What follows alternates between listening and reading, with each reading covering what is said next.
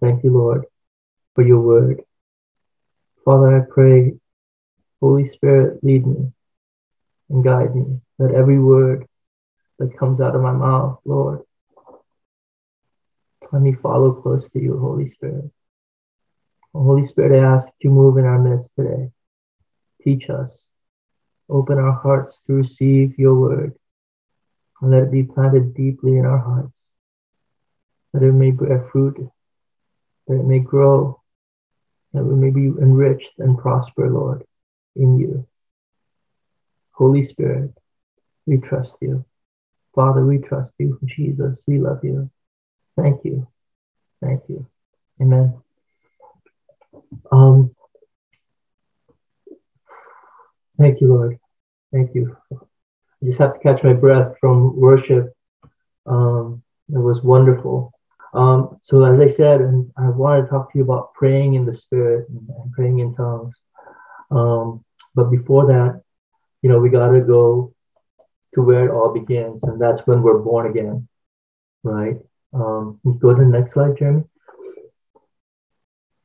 So in John chapter 3, verse 3, remember Nicodemus came to Jesus in, in, in, at night. And you know, it doesn't matter whether it's during the day or during night, when you need to know something, you gotta go to Jesus. You gotta go ask him. Right. But Jesus, but Nicodemus came to Jesus by night saying, you know, we know you're from God. No one can do these signs that you do unless God is with him. And you got to recognize the signs. We have to recognize the signs that when God is moving, you know, we, we need to seek understanding of what's going on. So Jesus, uh, so Nicodemus went to Jesus, and Nicodemus recognized that God was working in Jesus, and uh, and Jesus answered him, you know, most assuredly I say to you, unless one is born again, he cannot see the kingdom of God. Being born again is, is the first step to entering into the kingdom of God. And further on in the next in the next few verses in John 3, 5, 6, most assuredly I say to you, unless one is born of water and the Spirit, he cannot enter the kingdom of God. That which is born of the flesh is flesh, and that which is born of the Spirit is spirit. And even right now, I know that these things are, it's going to seem like that's so basic, right? It's going to seem like, I know that. Um, but even for me, as I'm reading this, and I think we all have to have this heart that is open to the Word of God, tender to the Holy Spirit, and that trembles at the Word. I was telling Myra uh, yesterday that I was a little bit nervous about preaching uh, today about Holy Spirit and about praying in tongues, and and the reason isn't that I'm because I'm nervous, scared, but because I know that this is important and it's about Holy Spirit. And I, I mean, anytime I think somebody shares the word of God, there has to be some fear of the Lord, right? And I think that's what I was feeling. I feel that now. I felt that this morning. And I know uh, Holy Spirit was assuring me, but hear to hear and listen today um, with a freshness and let let that word let this word sink into your heart so the beginning of our life in the Spirit is when we're born again. We're born of the Spirit of God. As God is a spirit, you are a spirit. You have a mind, you have a soul, you have a will, you have an emotion, you have emotions, you have a personality, you, you even have a conscience. These are all part of the inner man. And when I talk about the inner man, it's the, the part of you that can't be seen. I mean, everybody sees your face, your body, they know your physical attributes, but there's the inside man, the inward man, um, that is our spirit and our soul. That you know, it's expressed in our body. You can see in person's facial expression, but the inner man of the heart that, that Paul talks about, that's the spirit. And you know, you are a spirit, you have a soul, and you live in a body, right? But this verse here says, you know, most assuredly, I say unto you, unless one is born of the water and the Spirit, he cannot enter the kingdom of God. And we know being born of water is being water baptized, but we're also supposed to be born of the Spirit. Can you go to the next verse? Uh, next slide. You know, Jesus went in, in John chapter 4, Jesus went to uh, the woman at the well, and she perceived that Jesus was a prophet. Same like Nicodemus. Nicodemus perceived that this man, this man is, is, is from God. And, and also the same with this woman. When she saw, she, you know, when Jesus, when she started having this conversation with Jesus, she perceived that he was a prophet. Oh, you know, he knows about God. And although this woman, you know, has had five husbands, was very notorious, she couldn't even come to the well at the same time as other women because she was looked down upon.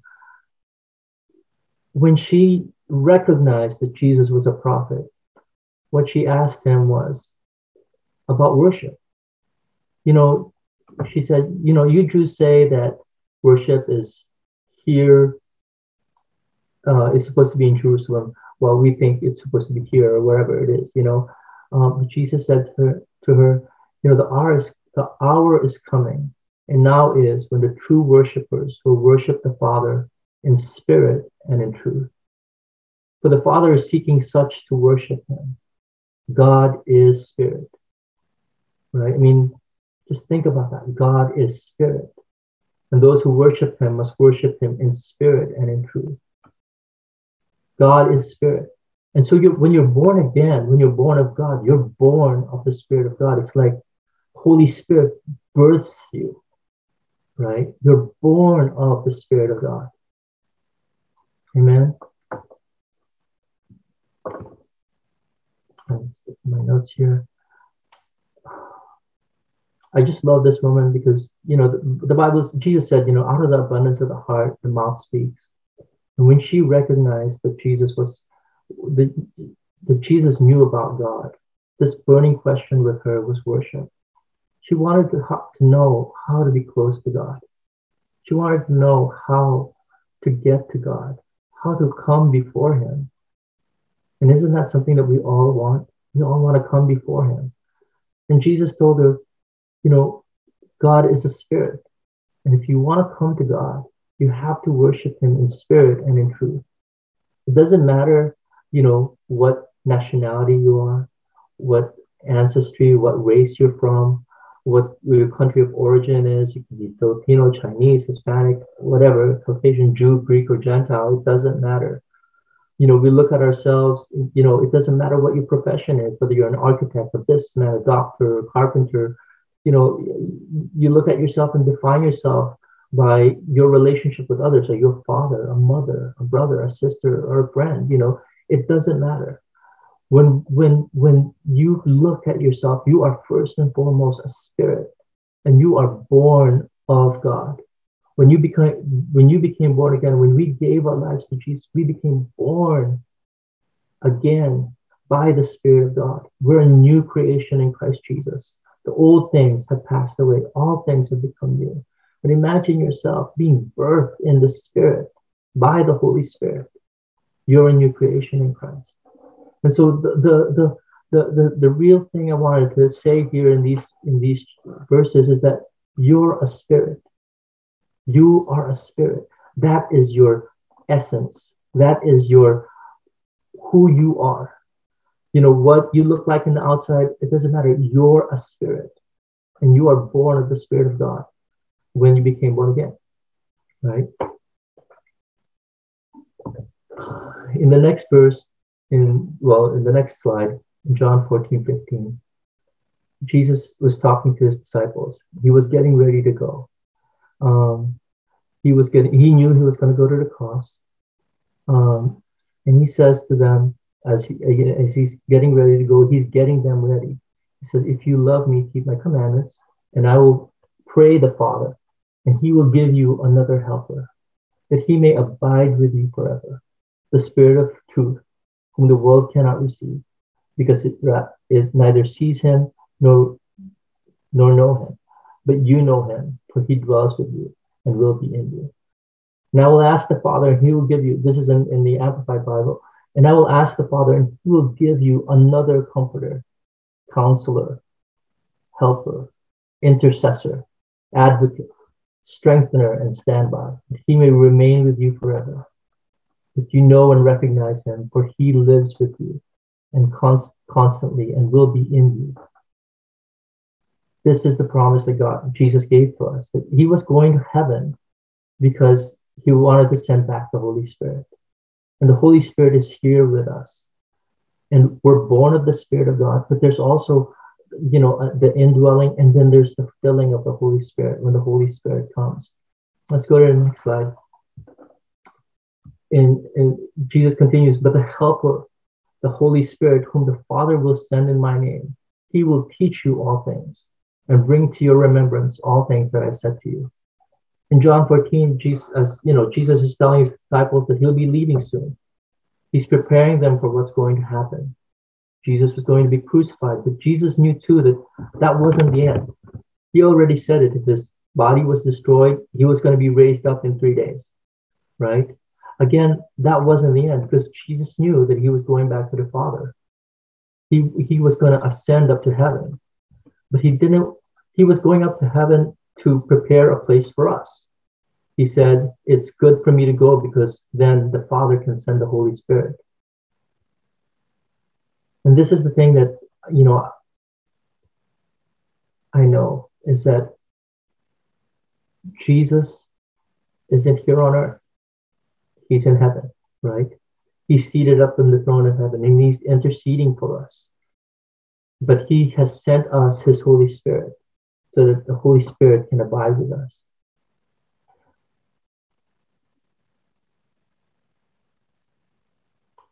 Thank you, Father. So when Jesus ascended up to heaven, he seated at, he seated he sat at the right hand of the Father and is making intercession for us. While the Holy Spirit is here on earth. In in the next slide, it says that in the Amplified, but the helper, the comforter, the advocate, the intercessor, the counselor, strengthener, the Holy Spirit, whom the Father will send in my name. It says, in my place to represent me and to act on my behalf. He will teach you all things and he will help you remember everything I have told you. And this is what the Holy Spirit does. You know, he comes and he lives with us. Where Jesus is up in heaven, the Holy Spirit is here with us here on earth. Go to the next slide. For John truly baptized with water, but you shall be baptized with the Holy Spirit not many days from now. And the next part of that in Acts is, you know, but you shall receive power when the Holy Spirit has come upon you, and you shall be witnesses to me, to me in Jerusalem and in Judea and, and Samaria and all the ends of the earth. So it's one thing to be born of the Spirit of God, but it's another thing to be filled with the Holy Spirit. You know, Jesus asked his disciples to wait in Jerusalem for the coming of the Holy Spirit. And in the next slide, we see, and they were all filled with the Holy Spirit and began to speak with other tongues as the Spirit gave them utterance. They waited on, they were they, they were together in one accord in the upper room as we sang this morning. And then the Holy Spirit came and there were tongues of fire. You know, there was a mighty rushing wind. It's like the Holy Spirit couldn't wait to come and there were tongues of fire on top of their head, and they spoke with other tongues. If you go back to the previous verse, it said, you know, Jesus said, they shall receive power when the Holy Spirit has come upon you. And if you look at this verse, when the Holy Spirit came, how did that power come? How is that expressed? They began to speak with other tongues as the Spirit gave them utterance. So speaking in tongues is part of connected to the power of God in our lives. The infilling of the Holy Spirit is to empower us, to strengthen us. And, and when we're filled with the Holy Spirit, you can't help but speak in tongues. And quite, you know, and even even this morning as we were worshiping God and we were, you know, singing and worshiping God and asking Holy Spirit to come, I found myself praying in tongues, speaking in tongues, and you know, I had myself muted, but I was praying in tongues and praying in the spirit. And there was, you know, the, the this heavenly language flowing out of me. And it was just that utterance just kept coming forth and it was it was loud and it was go one way or the other, but it was like I knew this is part of what it means to be filled with the Holy Spirit. That you have uh, you speak in tongues. That's just a part of it, right? Go to the next verse, uh, sorry, next slide. You know, I want to ask you this question Have you been filled with the Holy Spirit? And have you spoken in other tongues? You know, we may all have different experiences of being filled with the Holy Spirit. I remember I was filled with the Holy Spirit after I was newly saved. Um, we were meeting one evening to pray. We were standing around in a circle during prayer, and I just began to pray in tongues. I, you know, all around me, you know, the, the older folks were praying, and the older folks, I say older folks, but you know, they were probably younger than I am now. Um, but I was probably 13, 14 years old at that time.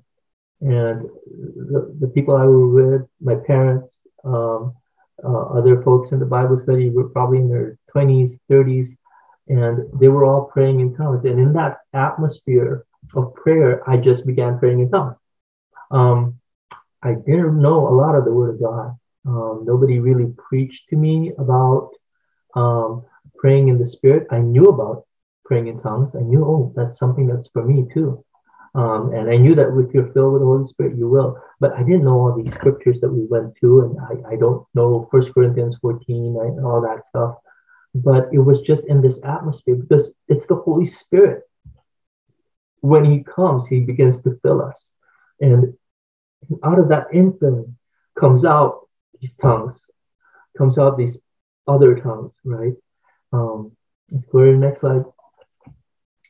No, again, I wasn't taught much about the Holy Spirit. Um, I was newly saved, and thank God for that atmosphere that brings about that you know invites the Holy Spirit, just like we were singing today, just like we were worshiping.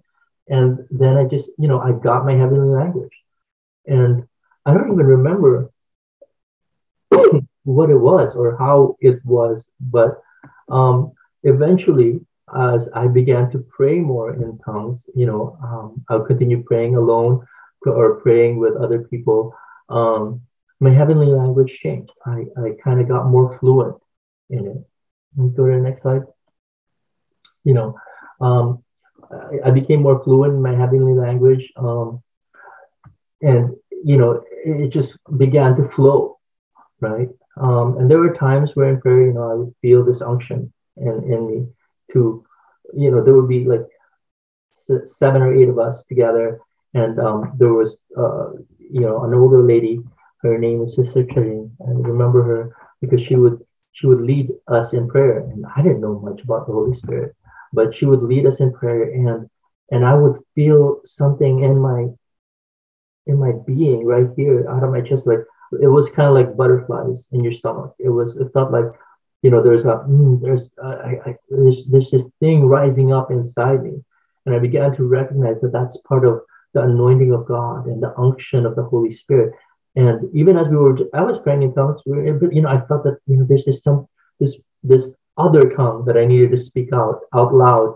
Um, sometimes it was in English, sometimes it was not in English. It was just a like a breaking forth of the dam, and and the tongues would come out, and and you know, I, give it. And it it changed, it would contribute to the meetings at times, it would change the course of the meeting, it would ignite something else in someone, and, and they would, you know, they would begin to pray as well, and, you know, and it would just bring something. And um, I didn't understand what I was praying in tongues. And, you know, First Corinthians 14, 15 says, you know, when I pray in tongues, I pray, my spirit prays, my understanding is unfruitful I didn't always understand it, but after a while, you know, I began to get an impression or an interpretation of what meant what that tongue meant or what I was doing, um, and I began to learn. I began to grow. Um, even though I didn't know what I was praying in the spirit, you know, I felt the strength in me. I felt stronger. My faith grew because uh, uh, God, the Holy Spirit was giving me this utterance, and and I knew he was using me, so I gained more confidence. And so the next time we prayed, I was a little bit more confident.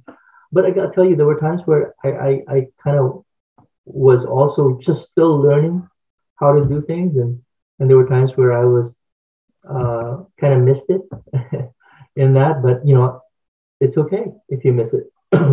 Go to next um, next um, Slide, please.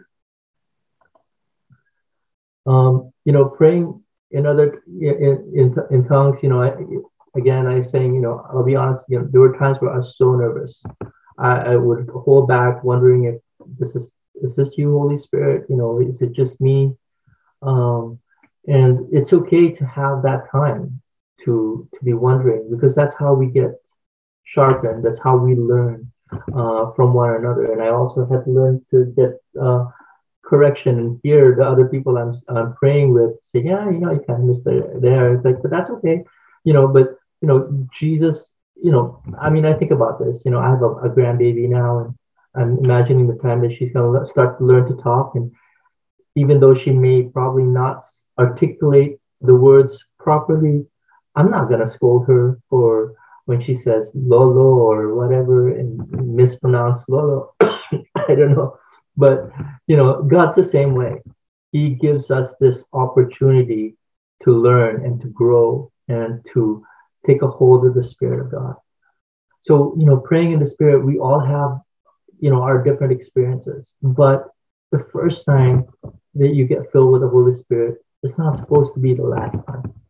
You're supposed to be ever be filled with the Holy Spirit. We're supposed to be ever growing in the Spirit, continually praying in the Spirit. You know, Paul said, you know, I pray with my understanding. I, I, I pray in tongues and I also I pray in the Spirit and I also pray in my understanding. I will sing in the Spirit. I will sing in the understand with my understanding. And that that is still Holy Spirit is still working in everything, right? So with the different kinds of praying, you know, there's and I, I, just put this together. This is not, of course, um, probably complete, and I'm sure there is more. But I try to express what it felt like sometimes when I was praying in the Spirit. Sometimes it felt like I was sowing something. I was just putting putting seed in the ground in the Spirit as I'm praying in tongues. Sometimes it feels like you're digging something up in the Spirit. Um, there are times where you feel like you're just searching and just looking, Lord, what, what what's going on, and I'm praying in the Spirit. There are other times it just bubbles up, like I was telling you, you know, that happened, uh, you know, in that prayer meeting. It just felt like something was rising up inside me, and I needed to bring it forth, um, and it's overflowing. There's a time where it's plowing. It feels like it's work. You know, you're you're breaking up the fallow ground of your heart and you're just breaking things open. There's times where when you're praying in tongues, it's like you're crying out, God, and you're you're you're you're you're you're, you're bringing your whole heart and you're just opening up a way, right? And there's times where you're just you're just groaning in the spirit, and there's times where you feel like you're having to push. There's that pressing, pressing back or pushing back.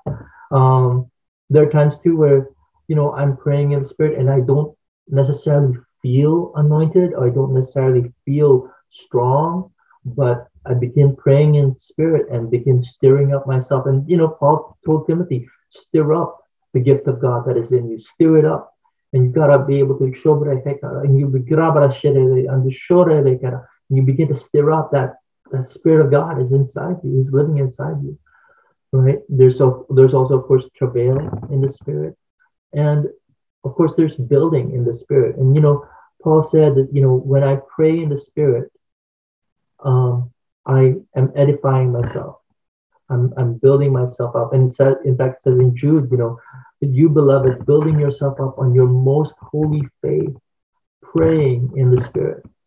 So when we pray, you know, you build up your faith, you build up your strength, you get stronger.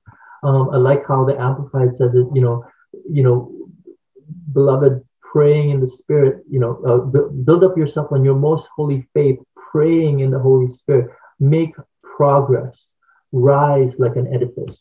And so you, you gotta rise like an edifice. It's as you're praying, you're putting one story upon another story, upon another story, upon another story. You're setting your foundation, but you're building on that foundation of the Word of God. You're building it on it in the Spirit. And that's what goes on when you're praying in the Spirit. So there are different kinds of prayer, and we have to let the Holy Spirit show us and lead us. But it, it's also as we come alongside one another. Um, when when praying with mom, uh, with, with Linda. You know, when I'm praying with my mom, there's a different uh, things that I, I, learn as I'm praying in the spirit with her. Um, when I'm praying with my wife or when I'm praying with other people, again, you know, everybody has something. How is it then, brethren, when you come together, everybody has a psalm, a hymn, a tongue, you know, interpretation of tongues or or a message, right? In the same way, sometimes in the spirit, when we're praying in the spirit, we're speaking mysteries to God. And it's our spirit, by the Holy Spirit, speaking uh, to God, right? So there are different kinds of prayer. And it's time to really spend time. So let me ask you this question is how much time do you pray in tongues? Um, just time yourself, even as you're praying. Um, how much time do you pray in tongues? Are you uh, maybe five minutes, 10 minutes, 15? Think about that. But if if if Jesus went to heaven and so that the Father can send the Holy Spirit and the Holy Spirit comes and fills us and he gives us this gift of tongues. How much do we use it? Right? Do we use 10, 10% of the time? 10% of the power that's available to us by praying in tongues? Because when you pray in tongues, you build yourself up, right? Of course, we build ourselves up in, in the spirit, but we also build ourselves up in the word of God. But you got to have both uh, spirit and truth, right? God is seeking those who will worship him in spirit and in truth. So we have to have spirit and truth. And by and when we're praying in the spirit, the Bible says that you know it's the Holy Spirit in us praying the will of God for us. So you know, think about that. How much time? Let's go back to the slide there. Different kinds of praying, right? Um, the next slide is, you know, that it, it, this is just an example. Uh, I was kind of quoting this, you know, in Romans 8 14, it says, For as many as are led by the Spirit of God, these are sons of God. And it's when we're walking with the Holy Spirit, when we're, you know, being led by the Spirit of God, that's how we show that we are sons of God. That's how we become sons of God, I believe. And, you know, in verse 26, it says, likewise, the Spirit also helps our weaknesses. For we don't know what we should pray for as we ought, but the Spirit Himself makes intercession for us with groanings which cannot be uttered. And, you know, when we're praying in the Spirit, that it's the Holy Spirit is working with us. He takes a hold together with us. And sometimes it's just a groan you can't even utter it. It's just, mm, just you know, not even making an utterable sound. But that's part of you know the Holy Spirit coming together with us. So, and the next slide. Um, so praying in the Spirit, you know, these are some of the fruits that you get. One is you have confidence. So when I was telling you about, you know, that time where we were praying and I felt this utterance come forth and I, I, had to give it out, right? Um, and, you know, I had some doubts in, in my mind as to whether or not that was the Spirit of God or not. But I took that step and it was a blessing. You know, people were blessed. I was blessed. Um, but that what that gave me was confidence. It gave me the confidence to know, okay, yeah, hey, I do hear from God. I'm hearing from God. And that built up my faith. Okay, so that the next time that I felt that, I recognized that's the Holy Spirit wanting to wanting to use me, wanting me to say, say something out loud. And then, of course, you know, it brought strength to me. You know, I left that meeting which, oh, yeah, I felt stronger. I, you know, I felt like, you know, not I wouldn't say invincible, but I guess in some ways I felt like, yeah, I can take on the world because I felt like the strength of God was in me because it was released in that utterance, right? I had courage, um, and I had joy. I, I remember this one particular time that praying in the spirit. We were we were praying in tongues. We were all together in Mexico, maybe six, seven of us again, and we were at this home. And as we were praying, you know, you know, praying in tongues, um, there was this joy that came over me, um, and I just started to laugh.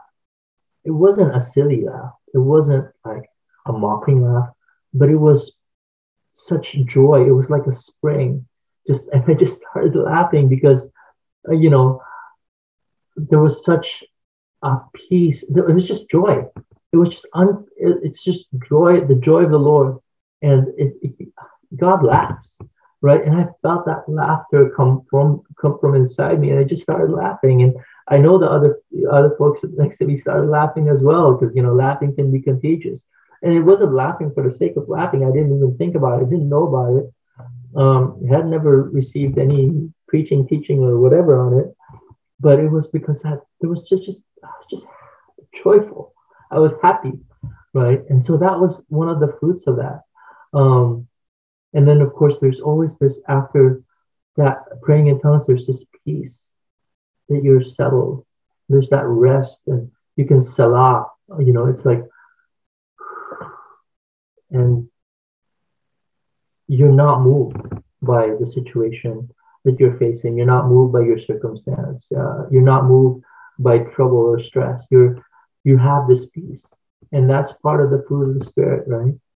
Um, and when you're praying in tongues, sometimes that you end you end a lot. I always end, you know, try to end with peace. Sometimes, you know, when there's when I'm praying in the spirit and I'm praying in tongues and I'm pushing back against things, there's time for, you know, I know, okay, there's still that fight that's still there, but for now, this is good and I can stop and, and have peace. Right. And when you pray in tongues, I'm going to tell you, you're going to love people more because you, you, you feel the love of God. Right. And it's really the love of God. And even in Jude 20, right, it says, keeping yourself, yeah, building yourself up in your most holy faith, praying in the Holy Spirit, keeping yourself in the love of God. And I think the love of God is there because when you're with the Holy Spirit, you know, guess what? The Holy Spirit loves. The Holy Spirit loves you. The Holy Spirit loves me. And, you know, the, the more you pray in the Spirit, the more you can see other people with eyes of love. And you know, and one of the things too with praying in the spirit is the sensitivity that you get. You begin to realize, you know, when Holy Spirit is moving or or wanting to say something or wanting to do something, the more you pray in the spirit, the more you increase that sensitivity, the more you hear, and the more you get revelation as well. One of the things that you know uh, Paul said, you know, in Ephesians six, he said, you know, you know, be strong in the Lord, right? And, but you know, put on the full armor of God uh, and pray for me that utterance and, and you know, pray in the spirit that utterance may be given to me. And I believe this is that Paul, who wrote like what three fourths of the New Testament, had such utterance in words in English because why?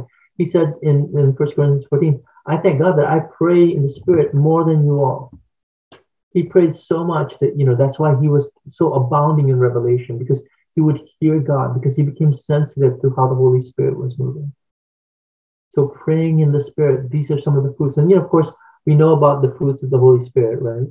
The fruits of the Holy Spirit is love, joy, peace, long suffering or patience, kindness, goodness, faithfulness, gentleness, self-control.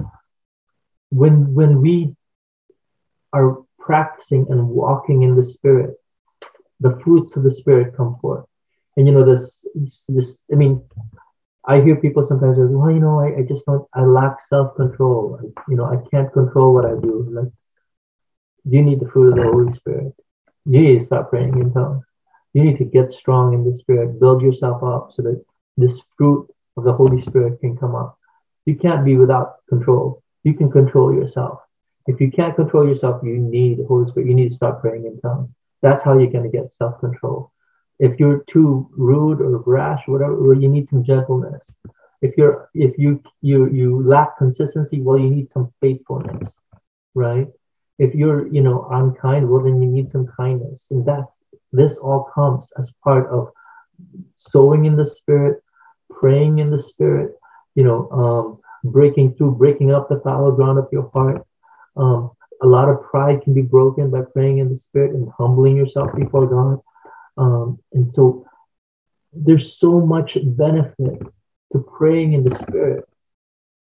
So I go back to my question is like, well, how much do you pray in the Spirit? How much do you pray in the Spirit? Do you just pray in the Spirit when it's uh, Bible study time or, or, or get together time and you're praying? But you can be, but here's the thing you can be praying in the Spirit. Sometimes you know, I'm just like, you know, just praying silently to myself as I'm driving, as I'm walking, even as I'm doing other things, as I'm cooking, I'm praying in the spirit. And sometimes I'm praying in the spirit, sometimes I'm singing in the spirit. Um, and you know, I don't always pray with my understanding because I don't always know, God, what do you want me to pray? But when I pray in the spirit, the Holy Spirit is the one praying with me and, and praying the things that I need to pray. So pray in the spirit. So this is I'll end with this verse is you know, finally, my brethren, do not be drunk with wine in which is dissipation, but be filled with the Spirit. Another translation it says, ever be filled with the Holy Spirit. I think in the Amplified it says it says be being filled with the Holy Spirit. Again, it's not just that one time that you got filled, but it's you can get filled and refilled and refilled and refilled. How much how many how many times do you fill up the gas in your tank? Right? How many times do you fill up the gas? And yeah, you get you run out of gas, you have to fill it up again. You got to fill, you run out of gas, you fill it up again. You drive, you fill it up again. So again, you know, and the Holy Spirit, of course, is is our life, right? He's He gives us life, and and we need to be filled with His Spirit. So praying in tongues helps stir up. Praying in tongues invites Him, and, and He comes and partners with us, right? Um, and you know, I love this. You know, again, going back to John chapter four, Jesus answered and said to her, "Whoever drinks of this water will thirst again. Whoever drinks of the water that I shall give him will never thirst. But the water that I shall give him will become in him a fountain of water, springing up into everlasting life. Out of your belly shall flow rivers of living water, rivers of living water. And sometimes, and you gotta gotta uncork it and how do you uncork it? Open your mouth, pray in tongues, speak in tongues, oh, and begin to let that the Spirit of God flow inside you. So that's all I have for today. I just I pray that you know take this word. Don't let it just be um, a message uh, to hear, go in one ear and out the other. And I, I'll be honest, you know, I've done that many times when I was younger, but thank goodness the word of God is alive and it keeps coming back and keeps coming back and keeps coming back and he keeps bringing back to my Holy Spirit brings back to my remembrance as we read earlier. He brings it back to my remembrance. And even some of the things that I'm telling you today, you know, Holy Spirit was reminding me, remember this time when you had this unction to pray. Remember how you got filled with the Holy Spirit. Remember the times that I showed up and the presence of God came and that's, you know, this is the Holy Spirit is a person. Holy Spirit is God, right? He is God, and He's God with us. He's God here on earth with us, and He dwells in you. He dwells in you. But let's participate with Him. Let's pray in the Spirit. Stir yourself up. Begin to, you know, rev things up. Keep it going. Keep it going. Keep it rolling. Keep praying and find out from Holy Spirit all that He wants you to do. Amen. Amen.